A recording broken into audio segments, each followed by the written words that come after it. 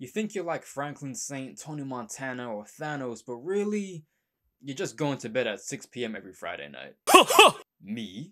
A monster? No. I am the House of Congress! What's he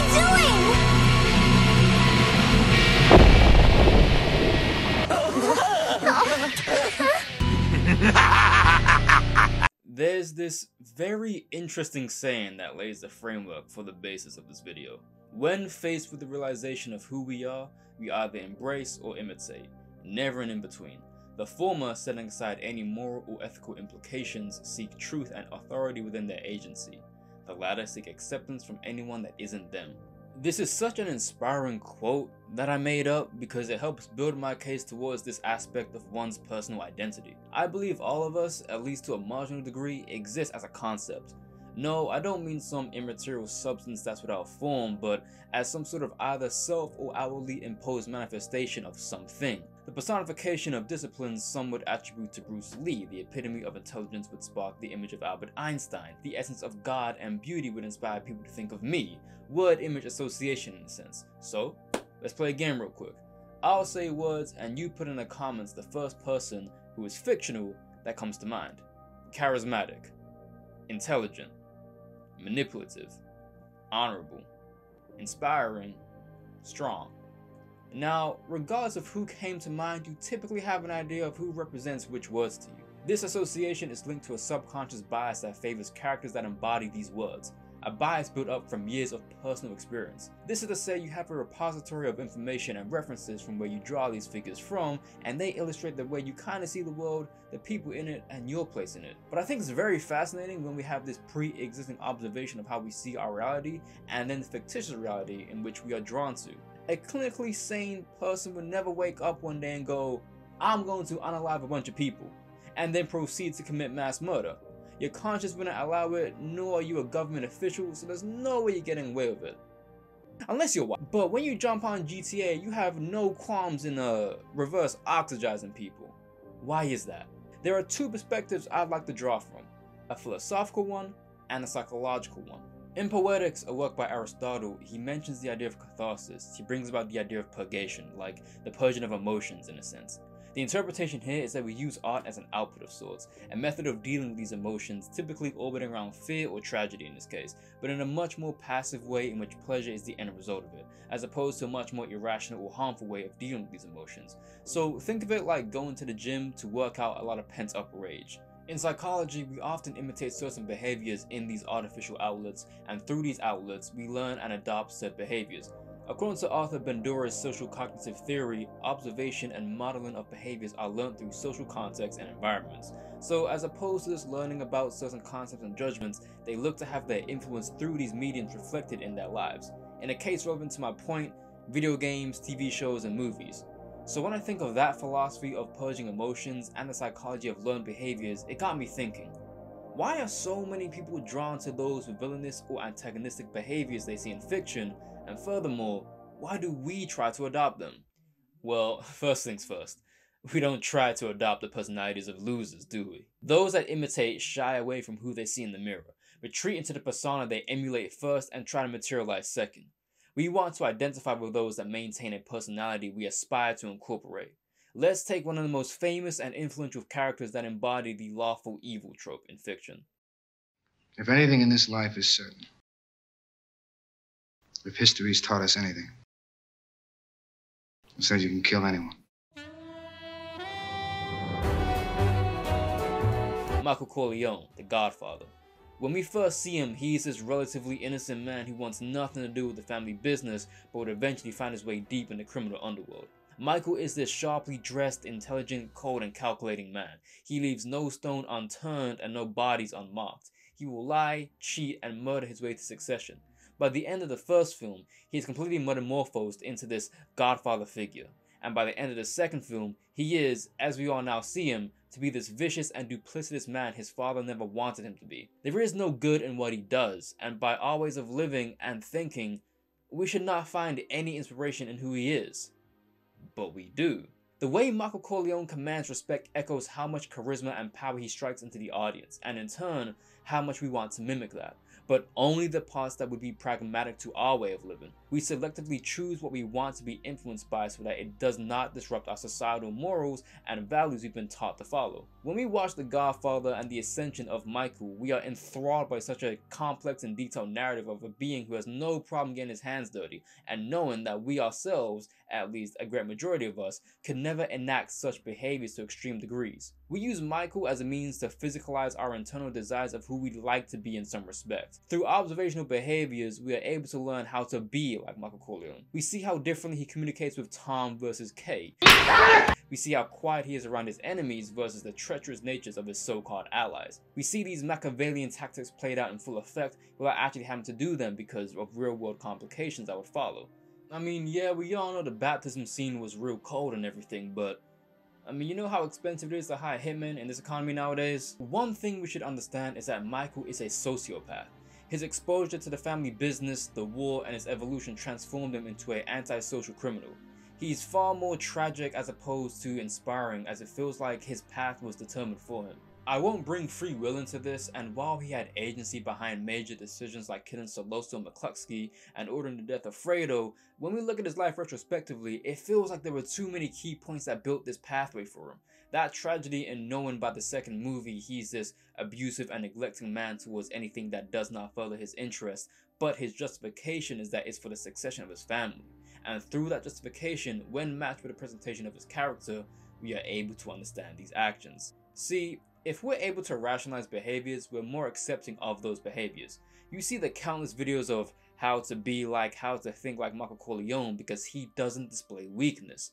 Human flaws, yes, but he is the textbook example of the type of calculating individual most men aspire to be. Power rules everything, but knowledge controls power, and if you want to be in continuous positions of power, then you will want to be like the Godfather. Even though Michael exhibits dark displays of malice, indifference, and action, we look to isolate these traits because we believe it will amplify the desired results that we're looking for. In Bandura's paper, Social Learning Theory, he details how man's cognitive ability to foresee certain outcomes are derived from multiple learning factors, such as directed and observational experiences, modes of informative, motivational, and incentivized functions of reinforcement. People can represent external influences symbolically and later use such representations to guide their actions. They solve their problems symbolically without having to enact the various alternatives, and they can foresee the probable consequences of different actions and alter their behaviors accordingly. These higher mental processes permit both insightful and foresightful behavior. Let's apply this to Michael. Look at how his body language is used to convey fear, respect, authority, and presence. When Michael looks at you, he is not looking at you. He is giving you the penance there. It is piercing, so subtle yet powerful, and it seizes control over his opponents without them even knowing it. The results of these functions lead to, what we see, a desired result of the aforementioned actions. Him staying seated when Moe Greene shakes his hand to showcase the total lack of respect he has for him whilst preventing Moe from having any sort of control in the room. This is further exemplified when he sits with his back turned towards Moe and his own casino. Michael pulling up a chair next to Carlo to give him a false sense of reassurance and understanding, with the purpose of him lowering his guard and then having him executed. Where I believe this differs from when heroes conduct themselves in similar manners is, well, we don't respect the authority of the fictional hero the same way we do a villain because we don't have to live vicariously through the lives of heroes because we're heroes every day. Aww. But we don't want to be. At least not in the context I'm describing. We like the dark, gritty, by any means necessary type of characters because, more often than not, that's not who we are, but we enjoy watching a sandbox of these people that can live like that. Michael's actions are rewarded with respect, but it is done so in a manner which is so attractive and alluring. Two other components I will mention with another example shortly. From the slick back hair, fancy suits, and how he looks smoking with cigarettes, he amalgamates all the qualities and characteristics that would not fit the standard hero archetype but one befitting of a villain and anti-hero. Due to our standard of what is morally right and just, the prevalence of where we see these traits, we seek out to identify and match the thinking of someone like Michael because he, for lack of a better term, does not give a fuck. And when you're constantly around people that do, you'd rather be the person that doesn't because, well, it's cooler. So when we see Michael project an aura of grandiose and gravitas, it is never without reward. Something is gained from it. And through that observation, that repetition, we look to emulate that in ways which will benefit us in the real world. You know, I'm beginning to see the correlation as to why those red pill losers act how they act because of this. why they love to say stuff like, man, no one has the balls to say this, but I will.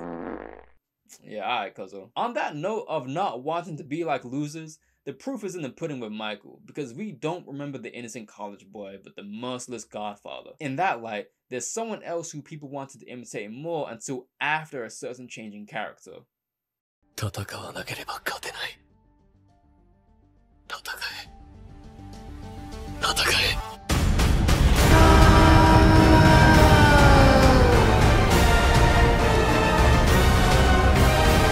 Man, when that boy put up his hair in a ponytail, it was raps after that. He was done playing for real. Eren Yeager from the Attack on Titan series has a very intriguing character development arc. Transforming from an idealistic and pretty much a naive, brash young kid whose intention was the extermination of all the Titans to a genocidal maniac. Yes, he was a genocidal maniac. No, he was not justified. No, I do not care. Suck your mother. Eren, I dare you call me a slave. I ain't Armin. I will spin your eye. Throughout the majority of Attack on Titan's life cycle, the most popular character was Levi.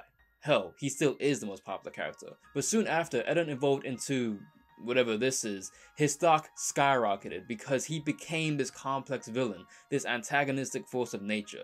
He became a lot more tactical, commanding, and cold. He literally had people call themselves Jaegerists because he had created a devoted following, a religion almost. A lot more people desired to identify with him because once again, he began to display behaviors of, and this is going to sound very weird out loud, sociopathic tendencies. His detachment towards everything outside of his mission enabled a consequentialist mindset within him, believing his actions were for the betterment of mankind and he was willing to sacrifice anything and everything in order to achieve that goal. When watching Eren, we are far more captivated by this new persona as opposed to his previous one where he didn't exhibit any strong qualities of a leader or someone who was more intellectually driven.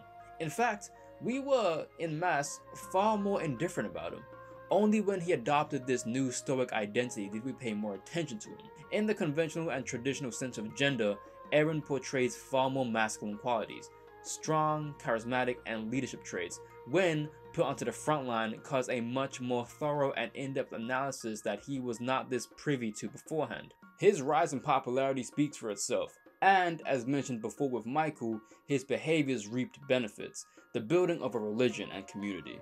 Because of this, our learning function goes from an unconscious level to a conscious level of awareness. Somehow, Eren convinced a lot of y'all genocide was the way forward, and that's the fascination of it, that charisma, that gritty nature we become attached to the point where people will argue in favor of Eren despite knowing he was completely insane and had lost his mind. Eggman shows up every single damn Sonic game talking about world control and domination and not one person wants to be like Eggman. I mean look at him. But Eren has both the appearance and this justification that people can rationalize and therefore can become attracted to and convinced by him. It's very similar to Meruem from Hunter x Hunter who at first believed in strictly creating a hegemony of chimera ants who rule the earth, but would soon have his ambitions morphed by the influence of Komugi and Netero. How he intellectualizes his motivations has us almost siding with him. Hell, Netero even stated that if you listen to him talk for much longer, he may have been swayed by him. In the case of Eren's behavioral patterns, those masculine qualities shine through far more apparently as opposed to his former angsty teen identity. But let's just say, hypothetically, that there was some edgy kid in the real world who wanted to enact a dispassionate genocidal cleanse with reasons we could rationalize. Would there be people on his side? Hell no! At least not in the large scale you see people argue for Eren. That's because it's real, and no one really wants to enact such atrocities. At least, I hope not. We only and specifically draw from elements that will have an actual practical and beneficial use for us individually, as opposed to manifesting an entire goal. And through that, through observations, we see that in order to achieve this, we must be, or at the very least, pretend to be that. The idolatrous nature of these villains do not dispel the iconic and admirable features of their adversaries. Superman, Spider-Man, Ichigo, Luffy, Gon, okay maybe not Gon, Mike Ross, Goku, These are characters that showcase the strengths of goodness, kindness, and in their way, justice. However, the dissection of them, the aspiration and desire to be like them, aren't typically as prevalent as the desires to be like, or at the very least think like, their opponents. Even when you have shows like Power where the crime boss in Ghost is a literal villain and an awful human being within the story who sells drugs, mercilessly kills people, and a multitude of other illegal dealings, we never really look at it that way. We hardly root for the failures of Ghost as it's far more pleasing to see him succeed over the police and his enemies. I couldn't wait for this beanbag to get smoked. Naturally, because he is our protagonist and we often want to root for our protagonist, but even if said protagonist is everything we would not want to have running amok in the streets in real life, we remain captivated by their presence, character, and mindset. Light Yagami is another example, but interestingly enough, the case with Light is far more polarizing because of his antagonist in L, who pretty much matched him in every way imaginable and has a similar, if not higher popularity rank than Light. Light had a very twisted sense of justice, but he was not afraid to go through the most evil ways to achieve his goals. Whereas L harbored more deontological ethics, but because of his intellect, presentation, and visual appeal, we don't see it the same way we look at the authority in stories like Power, American Gangster, or The Wolf of Wall Street. They do not represent traits we want to adopt to the same degree people like L do, and that's probably because L and Light are two sides of the same coin. While it could be argued that Light is a psychopath and L is someone who harbors asocial, not antisocial, there's a difference, asocial tendencies which grant him a mystifying aura, and because of that we are far more drawn to this character. So while the good guys in these worlds are the people we should aspire to be like, they represent, for lack of a better term, the goody two-shoes identity too strongly for us to feel any type of difference. In fact, I'd argue while we can relate to their way of thinking, we don't want to. Fiction is a place to escape real life, immerse ourselves in the fantasy of the what ifs, where we can openly like and praise the bad guys without remorse, where we can see if we can draw similarities between us and them and then seek to imitate certain characteristics, where we can see just how much of a villain lies in them and how much a villain lies in us and how we can justify it. At the end of the day, everyone loves a good villain. We all like to see the good guys fail from time to time because it breaks from the standard. Due to our conditions to follow the straight line in life, taking rebellious detours through these characters is our purgation, and then to pick up certain behaviors from these characters is another way to take a safe peek into the side of life we are not supposed to aspire towards. What if I was as cold as Michael Corleone? What if I gave into the absurdist realities that corrupted Eren Yeager? What if I put makeup on my face and ran through the city chasing people in costumes for a living? What if just for a day, just for a moment, I was the villain. Wouldn't that be fun? Wouldn't that be different? Wouldn't that be exciting? Either way, it wraps right back around to the beginning. We either embrace who we are, or we look towards others to mimic the qualities of those we, deep down, in the depths of our psyche, aspire to be like to some level. But when you ask yourself that question, always remember, it's good to do good. It's good to be on the path of righteousness, no matter what the character you see illustrates otherwise. No matter what, if you are to imitate anybody, imitate those that represent good, strong, moral, ethical, humane values.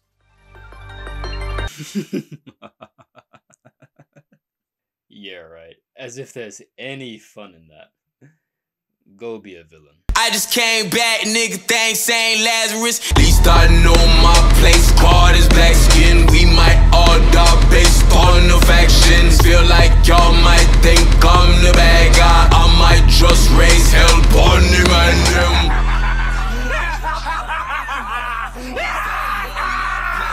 You can see it, Mahoraga! You can see my cursed technique! On my fate, y'all are madmen! You know, last video I said thank you for 1600 subscribers and now I'm saying thank you for 12,000 subscribers. See, I knew y'all were crazy. Y'all are crazy like me and that's on the kingdom for real. Salute to y'all. Y'all killing it. It's not going unnoticed. I really enjoyed making this video. I'm super into psychology, its applications, and the understanding of the mind, so I've been wanting to apply that to fiction villains for a while now. The sources I used for my research will be linked in the description below so you guys can go ahead and understand the secret to my sauce, you know, and just learn a little something new. I like putting you guys onto new shit for real. My next video is going to be about the disgusting, evil, and even more villainous world of online dating, but it's not going to be the way y'all think it's going to be, so be on the lookout for that one. It's going to be a little bit interesting. By the way, I got a Twitter account now, so go ahead and follow me over there to stay updated with what I got going on. I like interacting with you guys. That's half the joy of this YouTube stuff. Matter of fact, you know what? A lot of people leave before the end of the video and they could be missing out on something mad important. So for those that stick around to the end, let's start something fun. Let's start what I'm gonna call a Redux reference, which means in the comments of the next video, reference what was said at the end of the previous video, i.e. this one, and then put it on to the next one. So in the comments of the next video, or my future video, right, with no context, no explanation, in the comments, tell everyone what your favorite color is. Don't explain nothing, don't give away any clues, just say my favorite color is, and then make it unrelated to whatever you gotta say afterwards. Stop messing with them. Let's go see what happens with that. Thanks again for watching, but until next time, back to the shadows I go. I'm out of here.